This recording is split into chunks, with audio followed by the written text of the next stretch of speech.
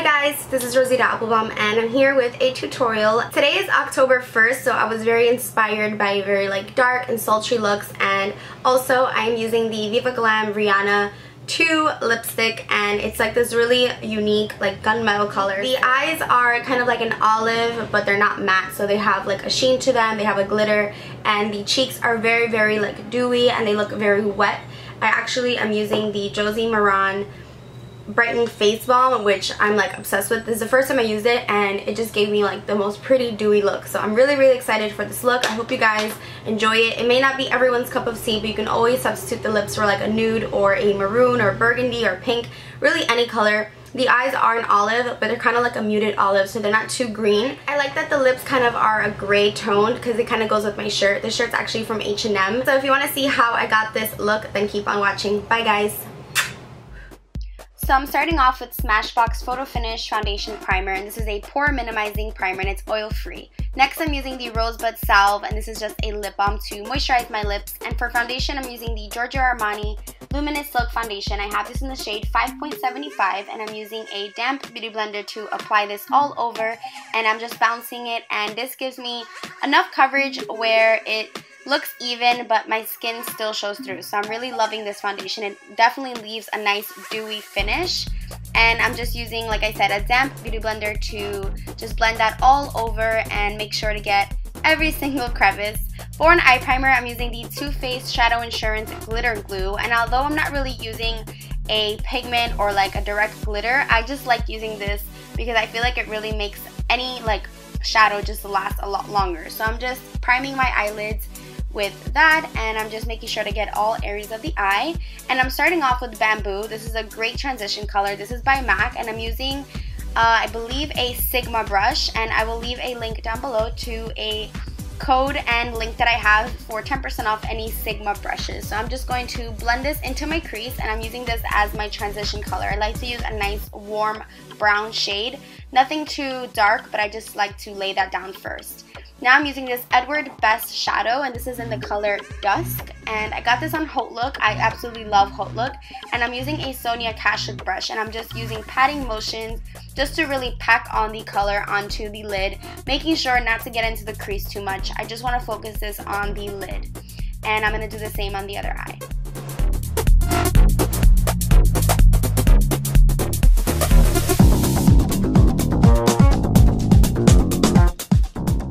Using another Edward Bess shadow and this one's called Escape and I'm using a Sigma brush and I'm just going to be focusing this on the V or the outer V of my crease and really just focusing it and packing on that color just to kind of deepen that crease up and create more definition and I love this color. It isn't completely matte but I feel like it just has enough warmth where it just is a great um, not transition color, but just a great crease color overall. So I'm really, really loving this color. And I'm just going to be blending this upwards and then into my crease. And I'm using kind of like wind wiper motions as well as little like circular motions to really just blend that in.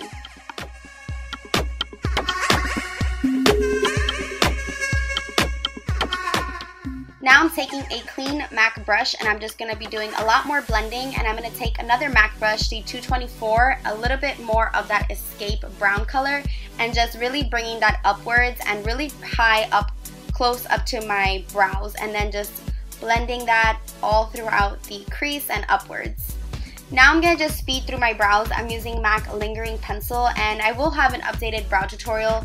I was kind of rushing my brows this day so I really didn't perfect them here but I'm just basically filling them in, outlining them and again I'm using Lingering by MAC. I love this pencil. It's really really thin. The only thing is if you apply too much pressure it will break. So like I said I'm just going to speed through this because I took forever and it just didn't really like the results. But I'll be fixing my brows later on with some Dip Brow Pomade, so I'll show you guys that in a minute.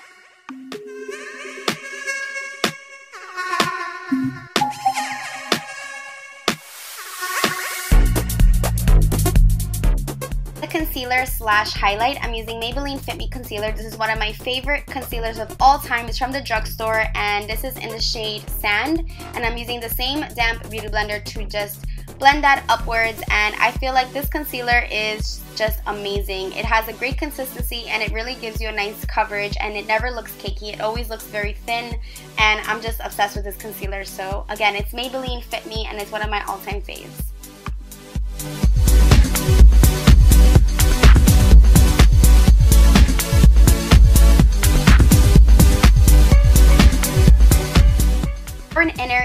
Color, I'm using this Kiko Cosmetics Wet and Dry eyeshadow, and this is in the shade 200. They did open up a Kiko Cosmetics in Queen Center Mall, and they also have one in New Jersey, so definitely check that out. And now I'm using this MAC Pure Flash Electric Cool eyeshadow. This has a really neat consistency. It kind of feels like butter, and I'm just applying that over the olive color just to kind of give it some sheen.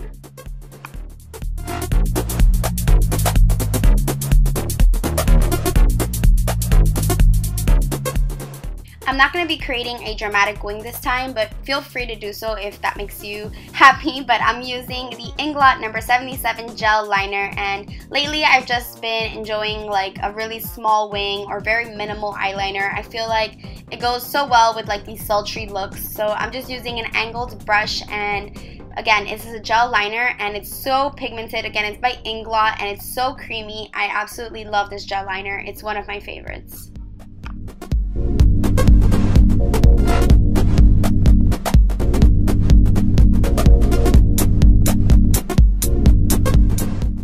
Set my concealer, I'm using Bare Minerals Well Rested Powder, and this is one of my all-time favorites, and I'm using a not a Sonia Kashuk, a Real Techniques brush. And now I'm just adding a little bit more of that Escape.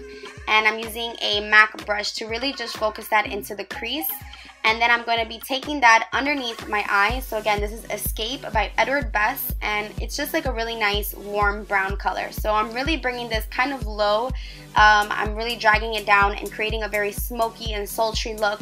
You know, bring it as low as you feel comfortable, but I feel pretty comfortable bringing it really low. Um, it might look a little crazy right now, but once you add your lashes and your lower mascara, everything kind of just evens itself out and it just looks really nice and smoky. Just make sure you blend this so it doesn't just look like brown underneath your eye. Like you want it to look smoky and you want it to look blended. And now I'm actually using a Pro Color by MAC. This is Emphasize. It's actually a shaping powder for your face, but I'm using it as a brow highlight. It's just a flat matte white. And now I'm using Revlon Bold Lacquer Mascara on my lashes because I am going to be applying some falsies, but I love to apply mascara beforehand just to create a base for them and it just makes sure that they blend a lot easier and they just, it looks a lot more transitioned, I guess you can say. But I'm just applying this and hitting my lower lashes as well. And this is Revlon Bold Lacquer Mascara. It's one of my all-time favorite drugstore mascaras. It's awesome. And now I'm using MAC Costa Riche pencil, and this is a red toned brown and I'm using this in my waterline and I'm just going to be applying a lot of pressure. I really want this to be very pigmented and I'm dragging it down just a little bit underneath my waterline so into my lash line just a bit. This is just going to be a softer look than black. You can use black if you'd like or nothing at all but I just wanted to add some brown, just a pop of color into my waterline.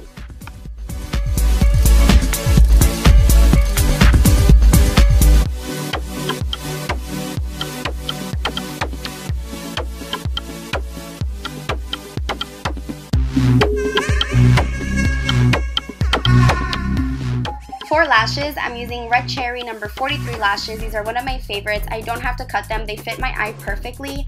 And I am just, um, yeah, applying them with some tweezers. I will have a video up on like false lashes and what glue I like to use and some tips and tricks. But here you can pretty much see that I let the glue dry, so I let it get tacky. And I'm just using the tweezers to kind of lay them down as close as possible here you can kind of see the glue, but it will dry and it kind of looks like they're not all the way down. But I promise you that my eyelashes were all the way down and close to my lash line and they were set. Like they didn't come off, so yeah.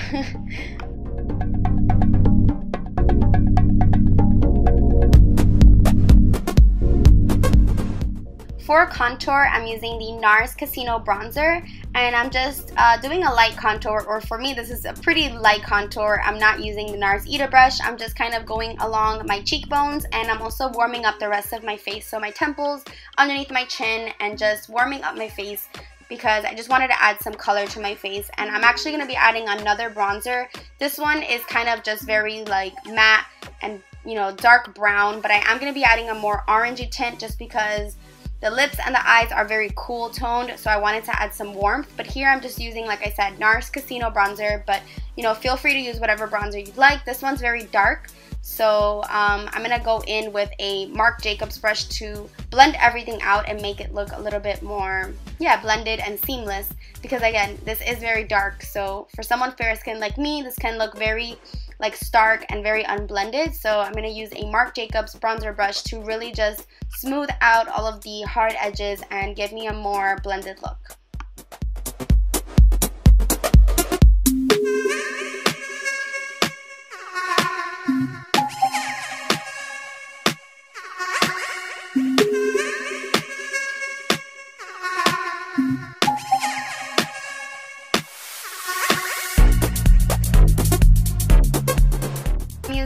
All-time favorite blushes. This is MAC Warm Soul, and I'm using the e.l.f. blush brush, or actually this is a complexion brush. It's like $3 brush, and I love using this brush for my blush.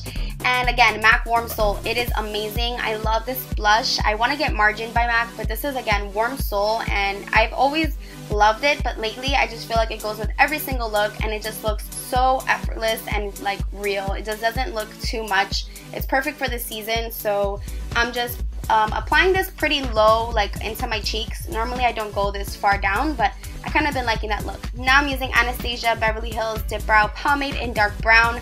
I love this stuff. It gives me that like extra pow to my brows that I really need and it just sharpens them, it defines them, and I'm using a Zoeva brush. This is my favorite brush for this step. It's just like an angled brush, but I just feel like the bristles are perfect for this kind of product. And um, yeah, I'm just outlining my brows. I am to have an updated brow tutorial, but here you can see I just outlined the ends, and I'm using dark brown. This is the only color I really like or that I've tried, so that's just what I use.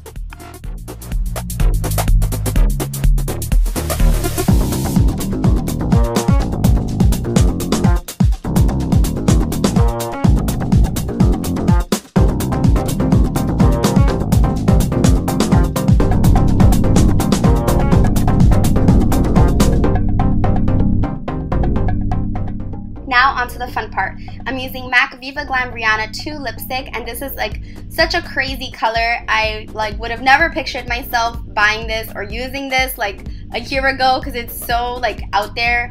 But I'm gonna warm it up and I'm gonna lighten it up with some nude. But uh, yeah, this is a limited edition color and it's um, by Rihanna. So it's a Viva Glam 2.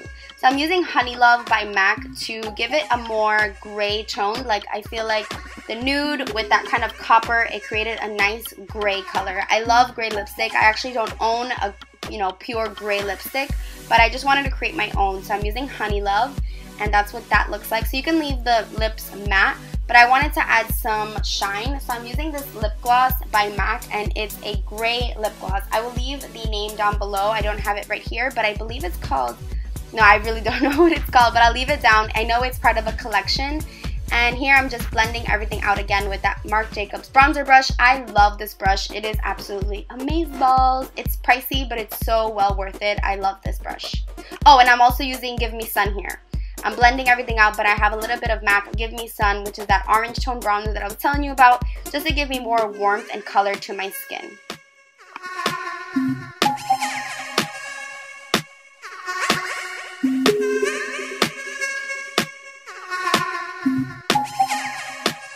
Now onto the highlight, my favorite part of doing my face. I'm using this Josie Maran Argan Brightening Face Balm. I believe this was discontinued. I know they had it on um, KQC or QVC, whatever that site is.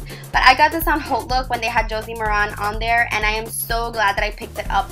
It's kind of like a face balm. It's just like a wet kind of cream product and I didn't expect this to give me such a nice highlight or a dewy look but this really just gives my skin life. Like it doesn't look dull anymore. I've just been like staring at my cheeks all day. It's amazing. And then I actually use that eyeshadow, the Pure Flash one by MAC, just right on top to give it more of a shimmer. And I just, yeah, I was just experimenting basically. I'm using an eyeshadow as a highlight. So feel free to like play around with your makeup and don't feel limited to what it's supposed to do. So that is the complete look. I hope you guys like this and found this helpful. And um, yeah, I will see you guys in the next one. Bye, guys.